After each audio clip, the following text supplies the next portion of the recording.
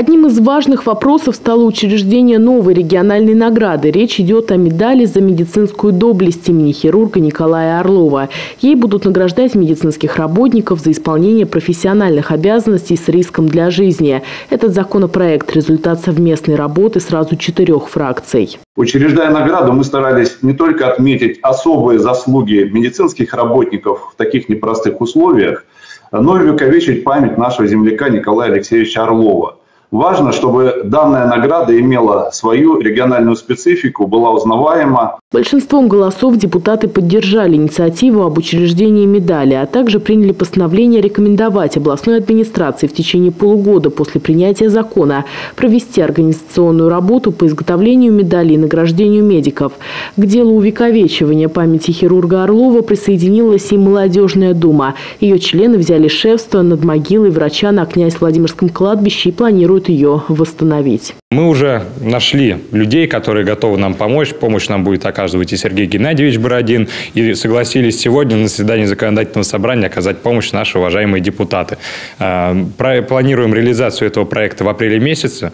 Все подробные отчеты, фото, видео мы будем размещать на наших страницах в социальных сетях. Приняли депутаты ряд вопросов в социальной сфере. Так, с 1 января все социальные выплаты в регионе увеличатся на 4%, а до 1 марта не нужно подавать новые документы на получение выплат на детей. Еще один законопроект коснулся многодетных семей, воспитывающих несовершеннолетних детей-инвалидов. Согласно законопроекту, таким семьям будут предоставлять бесплатные земельные участки для индивидуального жилищного строительства. Одно из условий получения земельных участков – проживание на территории региона более трех лет. При при этом выделять земельные участки будут всем семьям, вне зависимости от финансового положения или обеспеченности жильем. Дело в том, что одним из критериев получения земельного участка был критерий нуждаемости.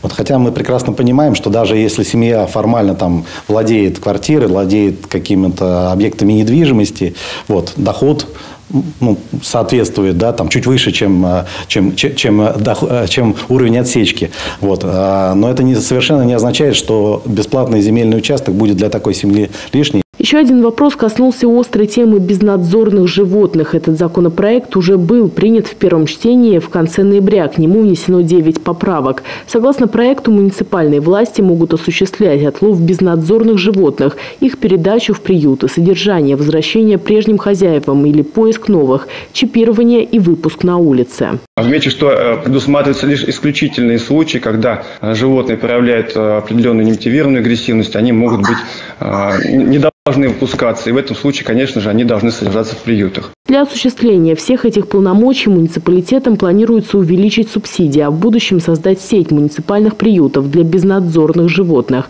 А в завершении заседания депутаты поддержали своего коллегу Александра Нефедова. Он обратился к губернатору Владимиру Сипягину с просьбой найти в региональном бюджете деньги на строительство северного объезда города Александрова.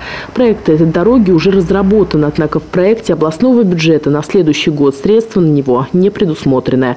Депутат подчеркивает, такая дорога позволит увести транспортный поток из центра города, улучшить транспортную и экологическую ситуацию в городе.